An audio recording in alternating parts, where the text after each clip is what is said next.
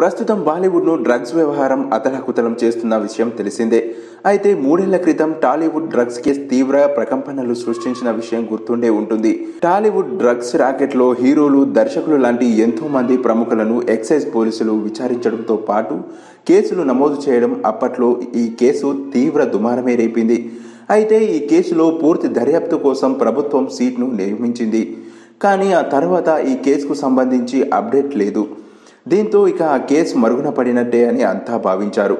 కానీ ఆ కేసుకు సంబంధించిన చార్జ్షీట్లు సిద్ధం చేశామని మొత్తం డెబ్బై రెండు మందికి సంబంధించిన షాంపిల్స్ని సేకరించి ఫోరెనిక్స్ ల్యాబ్స్కి పంపించామని వివేకానందారెడ్డి చెప్పారు.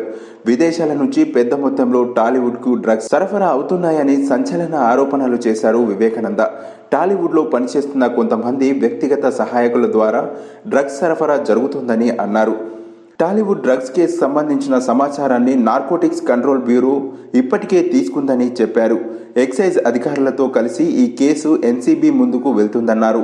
టాలీవుడ్ డ్రగ్స్ కేసులో ఉన్న వారందరినీ స్టేట్మెంట్ వీడియో రికార్డ్ చేశామని తెలిపారు. నాలుగు కేసుల్లో సీట్ విచారణ కొనసాగుతుందని వివేకానంద వెల్లడించారు. ఇక టాలీవుడ్ డ్రగ్స్ కేసు విచారణ అధికారిగా excise retired deputy commissioner Vivekananda Reddy వ్యవహరిస్తున్నారు.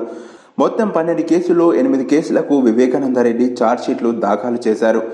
టాలీవుడ్ ప్రముఖులు వ్యాపారవేత్తలు విద్యార్థుల డ్రగ్స్ వ్యవహారంపై వివేకానందరెడ్డి మాట్లాడారు. కొంతమంది టాలీవుడ్ నటులు షాంపిల్స్ ఇవ్వడానికి వెనుకంజ చేశారని వివేకానందరెడ్డి చెప్పారు. షాంపిల్స్ ఇచ్చి పునరావాస కేంద్రంలో కౌన్సిలింగ్ పొందిన వారి పేర్లు షార్ట్షీట్లో పెట్టలేదని ఆయన స్పష్టం చేశారు. ఇక కొంతమంది నటులు పునరావాస కేంద్రంలో కౌన్సిలింగ్ తీసుకోలేదని వారి పేర్లను ఛార్జ్షీట్లో పొందుపరచామని తెలిపారు. ఛార్జ్షీట్లో ఉన్న వారికి ఏడాది నుంచి రెండు సంవత్సరాల వరకు శిక్ష పడుతుందని స్పష్టం చేశారు.